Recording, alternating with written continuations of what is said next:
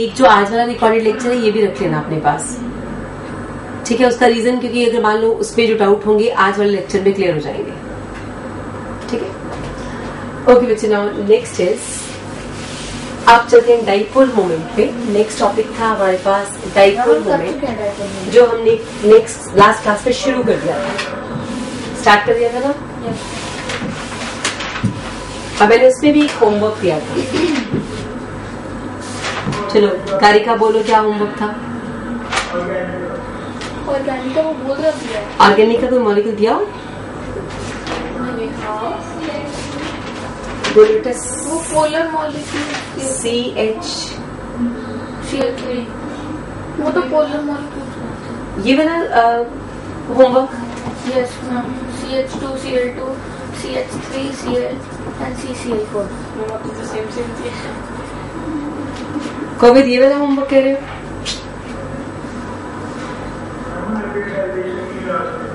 अच्छा बोलो कौन सा मॉलिक्यूल था?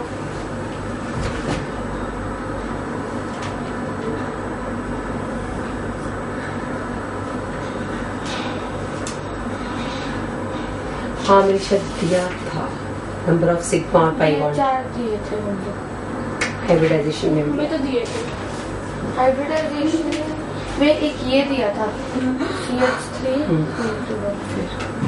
तो ये मैंने भी आपको दिखाया तो था कि आपने सिर्फ़ एक ही बेटा C H three C H two C H single bond C triple bond C single bond C उसके साथ एच जुड़ा हुआ नीचे नीचे H double bond C H two H two ये मॉलिक्यूल दिया था?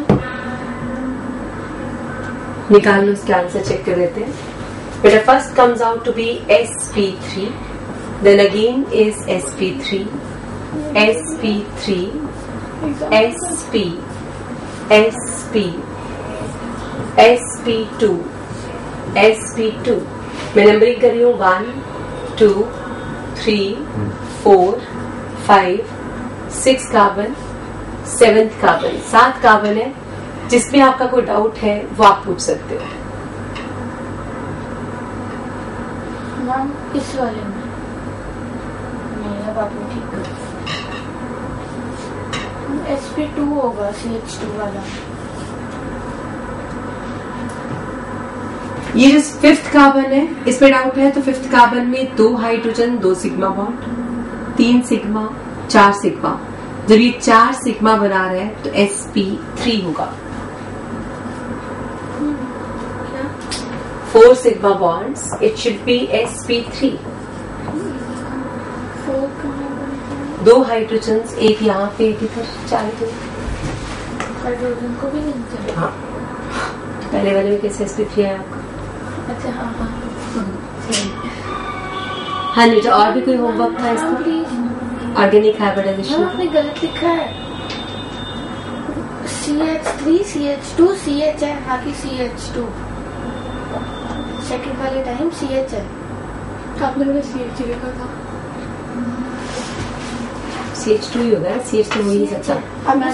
पूरा ही होगा ना आपको बॉन्डिंग पूरी तो करनी पड़ेगी चार बॉन्ड चार करने पड़ेंगे तीन बॉन्ड्स कैसे स्टेबल होंगे? लिखा हुआ ठीक करो फिर तो हम एस पी थ्री हाँ। जी जी, चेक हो गया। बोलो। सी टू अगला मॉलिक्यूल था C two C N four बेटा C two C N four is carbon double bond carbon C triple bond N C triple bond N C triple bond N. C triple bond N.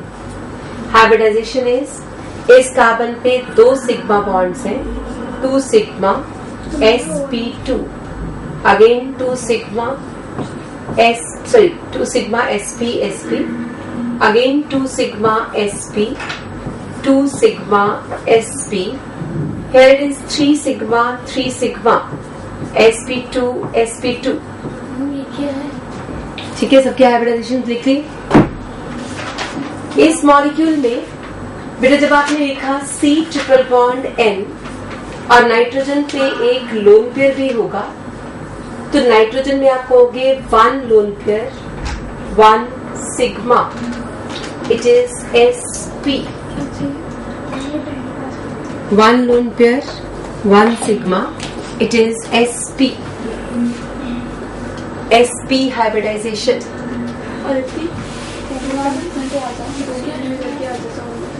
आपने simple ऐसे समझना है ना वो बहुत hybridisation पूछ लिया ना तो मैंने कहा था हाइब्रिडाइजेशन में निकाल के आना। हाँ जी बच्चे नेक्स्ट देखो जरा।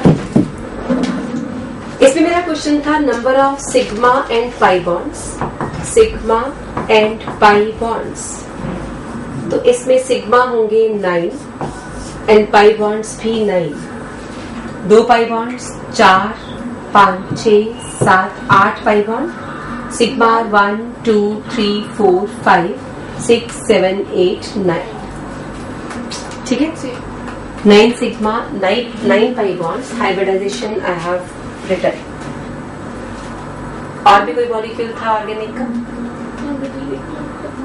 डिलीट अभी डिलीट मत करना मैम अच्छा ठीक है होगी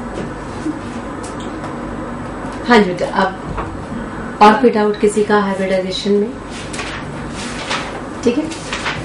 जहाँ पे आपने हाइब्रिडाइजेशन लिखा है, उसके ऊपर नोट की फॉर्म में लिखो राइट इट डाउन अगर ऑक्सीजन ऐसा आपको नज़र आ रहा है तो आप कहोगे एस पी थ्री क्यों? क्योंकि two lone pairs two bond pairs तो ऑक्सीजन को डायरेक्ट देख के हाइब्रिडाइजेशन बताई जा सकती है। अगर आप उसको लोन पेयर और बॉन्ड पेयर आपको समझ आ गया हो तो। अगर हम ऑक्सीजन को ऐसा देखें तो आप बताओ कितने लोन पेयर्स और कितने सिग्मा बॉन्ड्स दो लोन पेयर्स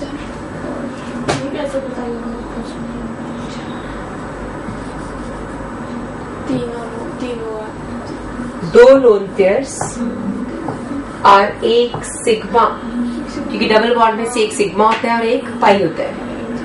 टोटल कितना हो गया? थ्री अगर ये थ्री नंबर आ रहा है तो थ्री क्या होता है? एस पी टू ठीक है जी? सोच के बताओ जल्दी से। अगर ऐसा लिखा जाए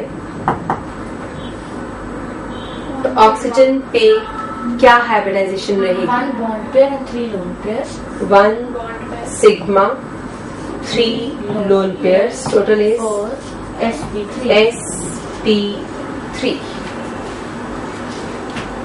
तो ऑक्सीजन के लिए हमें फॉर्मूलाज की ज़रूरत कम पड़ती है। जैसे कार्बन के लिए नहीं ऑक्सीजन इनको आप डायरेक्टली फॉर्मूला से ना निकाल कर सोच के भी आंसर दे सकते थे। You can get the answer for hybridization of oxygen ठीक है जी समझ आ गया? सोच के देखो जरा। अगर मैं आपसे बोलूँ carbon dioxide what is the hybridization of each element oxygen पहले ऑक्सीजन की दो लोन पेयर्स इसका बताओ जी बेटा two lone pairs one bond pair one sigma two lone pairs one sigma two sigma तो ये बन जाएगा एस पी टू ये भी एस पी टू और ये बन गया एस पी ये आप कहोगे carbon is S P oxygen are S P two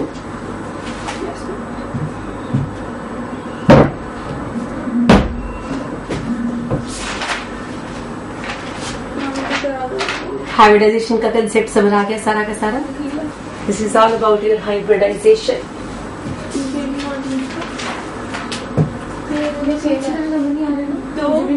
चार चार दो ये समझ रहे थे। जो जो सेम उसका क्या होगा मैंने उसको वो देखा इलेक्ट्रोनेगेटिविटी उसका सीएल का हाई होगा अब आपका डाइपोल मोमेंट वाला होमवर्क चेक कर लेते हैं। डाइपोल मोमेंट में मैंने आपको होमवर्क दिया था C C L four C H C L three C H two C L two C H three C L ये चार दिए थे। मेरे कार्बन के ऊपर जब चार बॉन्ड्स रखते हैं फोर क्लोरीन एटम्स तो क्या आपने यही बनाया? टेट्राहेड्रल चारों वेक्टर्स बिल्कुल एक जैसे क्लोरीन की तरफ़ फेस करते हुए, जब चार वेक्टर्स सेम डायरेक्शन में हो तो उनका सेम साइज़ सेम टाइप तो म्यू क्या आ जाएगा? ज़ीरो तो सीसीएल फोर तो आ गया नॉन पोलर क्लोरोफॉर्म में C H C L three में, एक एच है और तीन क्लोरीन बेटा क्लोरीन वाला वेक्टर क्लोरीन की तरफ़ दो, तीन, और हाइड्रोजन और कार्बन में से कार्बन मोर इलेक्ट्रोनेगेटिव इसलिए कार्बन की तरफ़. बोलो जी तीनों साइड चारों एरो समझ आ गए? क्लोरीन और कार्बन में से क्लोरीन, कार्बन और हाइड्रोजन में से कार्बन। चारों वेक्टर सेम नहीं है, क्योंकि एक तो हाइड्रोजन वाला वेक्टर है, तीन क्लोरीन तो mu is not equal to zero अगर चारों सेम एटम्स हो तो ज़ीरो एक भी डिफरेंट आ जाए तो not zero C H two C L two दो हाइड्रोजन दो क्लोरीन बताओ जी, कौन बताएगा? कार्बन और हाइड्रोजन का वेक्टर कहाँ पे पॉइंट आउट करूँ? हाइड्रोजन का कार्बन टूवर्ड्स कार्बन और कार्बन क्लोरीन कार्बन क्लोरीन की तरफ़। क्लोरीन की तरफ़। Mu is again not equal to zero reason is अभी भी दो वेक्टर कुछ और लेंथ के हैं दो कुछ और लेंथ के तो ज़ीरो तो नहीं आ सकता। C H three C L में आपके पास तीन हाइड्रोजन और एक क्लोरीन क्लोरीन वाला वेक्टर क्लोरीन की तरफ़, बाकी तीनों हाइड्रोजन की तरफ़ and we get mu not equal to zero यानी हमें ये समझ आ रहा है कि जब एक भी वेक्टर डिफरेंट आ जाए तो mu is not equal to zero आ जाएगा. यानी पोलर आ जाएँगे. यहाँ तक समझ आ गया कि पोलैरिटी के लिए अगर चार वेक्टर्स हैं, चारों में से एक भी डिफरेंट एटम है तो mu is not equal to zero तब भी नॉट ज़ीरो तो तो आप सीएल ऊपर लगाओ नीचे लगाओ लेफ़्ट लगाओ राइट लगाओ वो आपकी मर्ज़ी। लेकिन आपका answer not equal to zero ही आ रहा है। क्योंकि आपका एक फैक्टर तो डिफरेंट है ही है। कभी एक कभी दो कभी तीनों है ना? अब आप कहोगे इनमें से सबसे ज़्यादा पोलैरिटी जो है वो C H three C L की है। Maximum polarity is of C H three C L number two पे आएगा C H two C L two और सबसे कम zero polarity mu zero C C L four तो जितने ज़्यादा क्लोरीन उतनी कम डाइपोल मोमेंट लर्न करना पड़ेगा, रट्टा लगाना पड़ेगा because it is experimental fact learn experimental fact है ये. तो हमें एक्सपेरिमेंट से समझ आया था कि ये वाकई ऐसा फैक्चुअल आंसर देते हैं। जितने ज़्यादा क्लोरीन नज़र आ रहे हैं उतनी कम डाइपोल मोमेंट नज़र आ रही थी।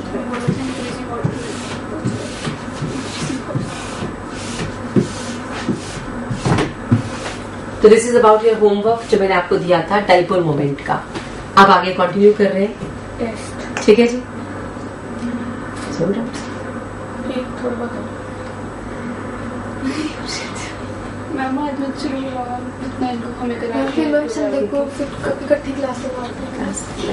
है।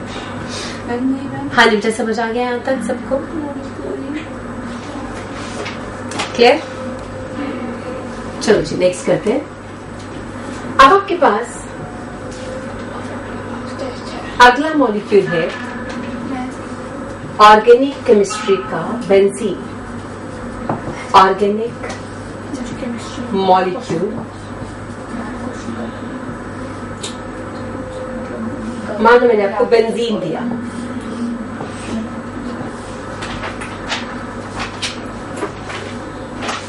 तो बेंजीन में सिक्स हाइड्रोजन है।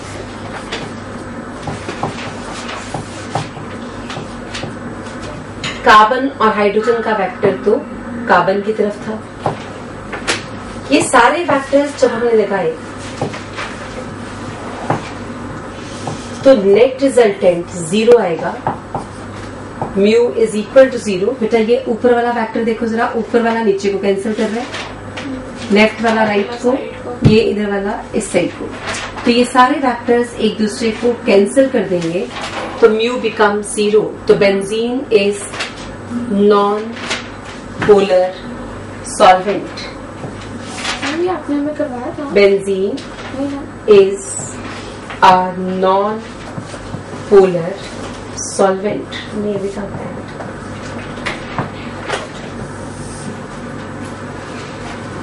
ये पॉइंट समझ आ गया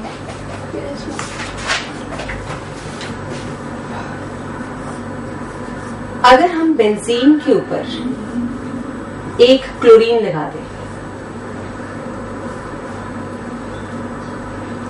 क्लोरोबेंजीन इसका नाम है क्लोरोबेंजीन बेटा, जब हम क्लोरोबेंजीन लिखते हैं तो क्लोरीन वाला फैक्टर कार्बन से ऊपर की तरफ़ जा रहा है। एक डिफरेंट फैक्टर आ चुका था। जब एक डिफरेंट फैक्टर आ गया तो mu is not equal to zero ये पोलर आ गया। क्लोरोबेंजीन इज़ पोलर ठीक है जी, ये समझ आ गया?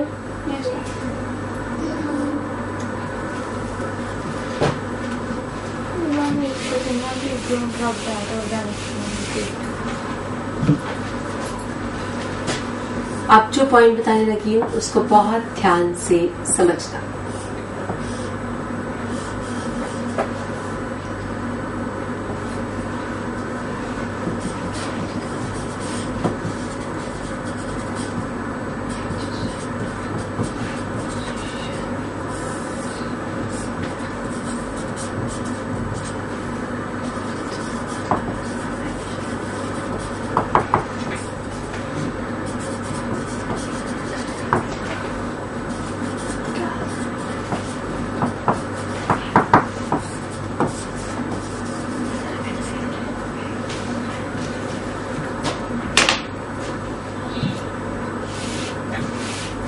मैम ये वाला नहीं बनाया था कौन सा वो छोटा है। देख। लेना क्लोरोबेंजीन इतने देख लेना benzene is a non polar आगे क्या लिखा था बस सॉल्वेंट क्लोरोबेंजीन नहीं बनाया अभी? वो अभी समझाना मेरे को। दो करो हम इसमें कुछ और ही देखना इस वाले में इंक्रीजिंग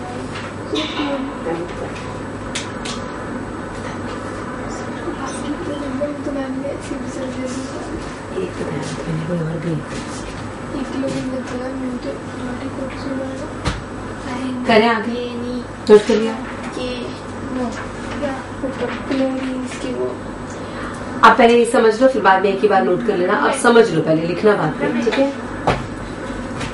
बेटा बेंजीन में सिक्स पोजिशन है। One two three four five six अगर कोई भी दो एडजस्टेंट जैसे इस पोजीशन को और इसको कहूँ तो ये एडजस्टेंट पोजीशंस हैं। इनको हम बोलते हैं ऑर्थो पोजीशंस अगर ये वाली दोनों पोजीशंस हो तो भी ऑर्थो ये दो है तो भी ऑर्थो ये दो आ जाए तो भी ortho these two are again ortho कोई भी दो एडजस्टेंट पोजीशंस ऑर्थो है। ऑल्टरनेट पोजीशंस फ़र्स्ट और थर्ड ये तीन, दोनों क्या बनेगी? मेटा ये तो दोनों भी क्या बन जाएँगी? मेटा मेटा मेटा ठीक है?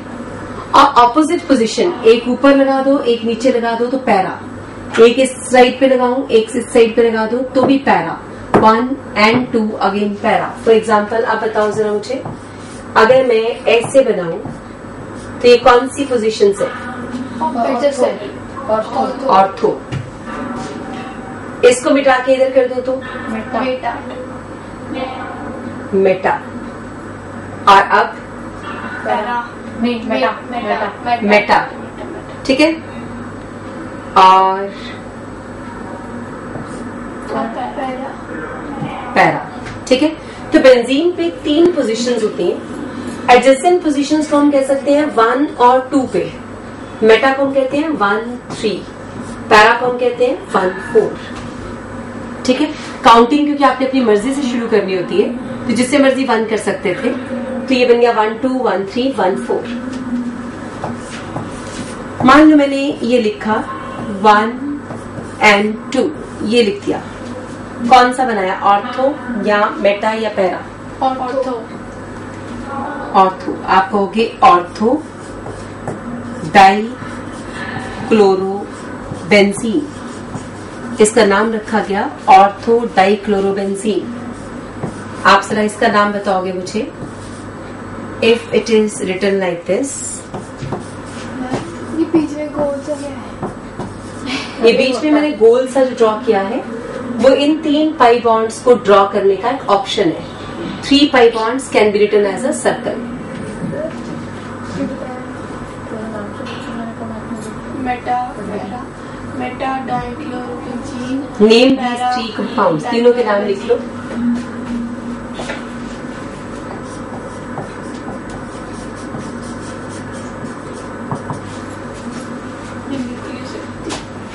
नेम द थ्री कंपाउंड्स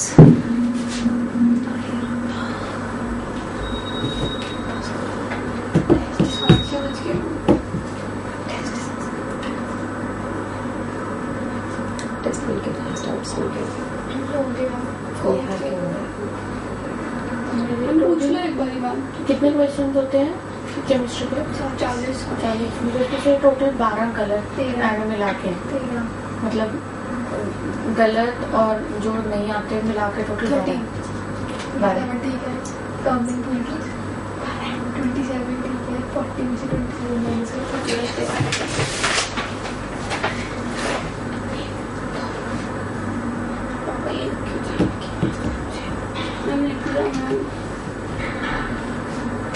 से पूछ लो मैम कोई डाउट हो है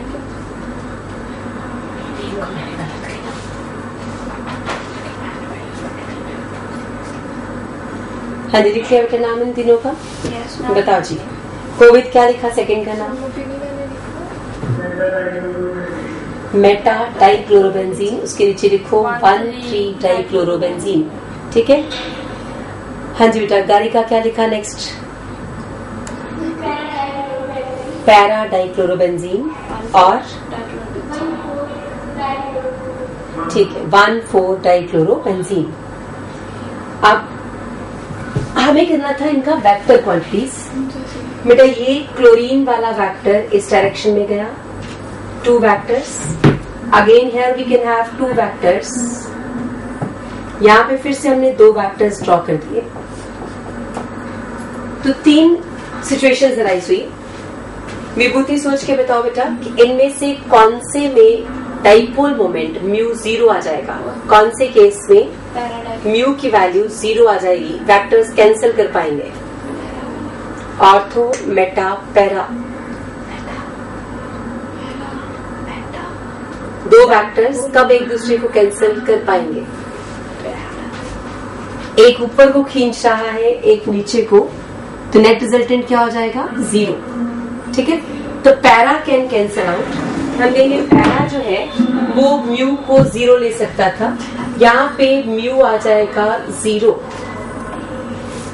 क्योंकि दो वेक्टर्स के बीच में अगर बॉन्ड एंगल 180 डिग्री आ जाए तो म्यू हमेशा क्या आ जाता है? Zero. Two equal vectors 180 degree angle उसके बाद अब आपके पास दो वेक्टर्स हैं जिनमें एंगल है 120 और ऑर्थो में दो वेक्टर्स हैं जिनके बीच में एंगल है 60 डिग्री।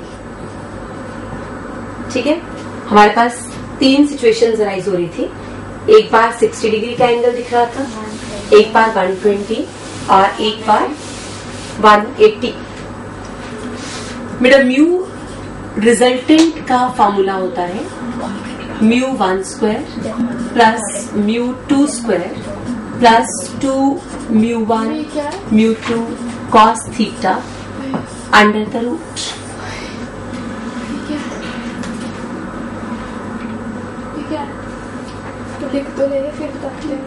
resultant factor कैसे निकालते हैं? फिजिक्स में आपने वेक्टर्स कर लिए। ये निकला। है किया तो है। म्यू ये मैम वो तो है। आप फिजिक्स में कहते हो वेक्टर वन और वेक्टर टू का resultant vector one square plus vector two square plus two mu one mu two cos theta under the root chemistry में क्या simple A square B square वाला ही है। ठीक है सेम ही हुआ ना। कर लिया पहले भी किया था फिजिक्स में भी? फिजिक्स में आप उसे म्यू नहीं लिखते थे आप उसको वेक्टर लिखते हो कुछ भी। ए बी या ए या बी जो भी। अगर हमें रिजल्टेंट फैक्टर चाहिए तो बताओ कॉस थीटा जब थीटा कम होगा तो रिजल्टेंट क्या आ जाएगा? बड़ा आएगा। जब थीटा कम होगा क्यों? बट तो रिजल्टेंट विल बी लार्जर क्योंकि थीटा कम आएगा तो कॉस थीटा की वैल्यू जो है वो यहाँ पे जब सॉल्व करोगे तो वैल्यू क्या आती जाएगी? बिगर वैल्यू आएगी। जब थीटा बड़ा हो जाता है तो ये वैल्यू नेगेटिव हो जाती है छोटी हो जाती है। तो रिजल्टेंट भी क्या हो जाता है? छोटा हो जाता है। यही था। तो अब हम कह सकते हैं mu resultant is inversely proportional to theta यानी जितना कम एंगल उतना ज़्यादा resultant that means small angle more resultant ठीक है बेटा जी? ये समझ आ गया? स्मॉल एंगल मोर रिजल्टेंट इस पूरे पॉइंट से हमें क्या समझ आया? हमें ये समझ आया कि ऑर्थो जो है, ज़्यादा पोलर होगा than meta and the least is para ortho is more polar ये समझ आया? मोर पोलर क्यों लिखा मैंने? क्योंकि ऑर्थो में एंगल कितना है? सिर्फ़ 60 डिग्री जब एंगल कम है तो पोलैरिटी ज़्यादा हो जाएगी। Dichlorobenzene is more polar than meta than para हाँ मुझे ये समझ आ गया सबको? नेक्स्ट इज़ सल्फ़र डाइऑक्साइड लिखो जरा SO2 ठीक है स्ट्रक्चर मैं ड्रॉ कर देती हूँ। आपने मुझे बताना है कि ये पोलर होगा या non polar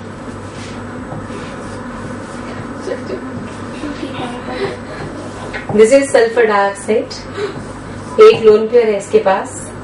आपने सोच के बताना है कि वेदर इट इज़ पोलर और नॉन पोलर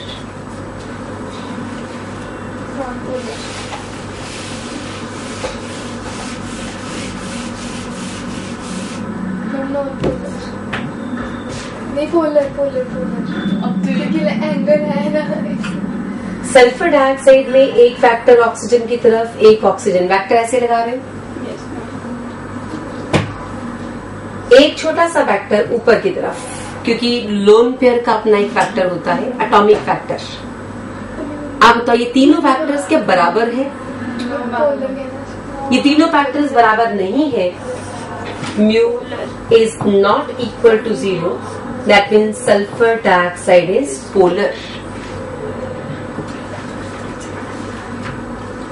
ये पॉइंट समझ आ गया?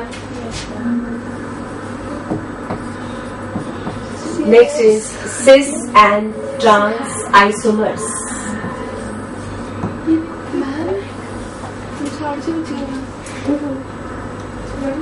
next आपके पास है सिस एंड ट्रांस आइसोमर्स आपने पहले समझना है, फिर एक ही बार नोट करना, ये इसके साथ हमारा डाइपोल मोमेंट खत्म हो जाएगा, ठीक है? फिर कार्बन कंपाउंड्स की एक स्पेशल कैटेगरी है।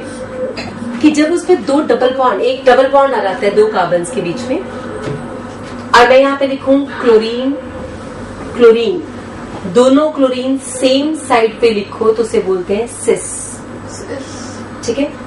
ये मैंने दोनों हाइड्रोजन सेम साइड पे कर दिए तो सिस अगर फिर से सोचो अगर क्लोरीन क्लोरीन को ऑपोजिट कर दे तो ये बन जाता है ट्रांस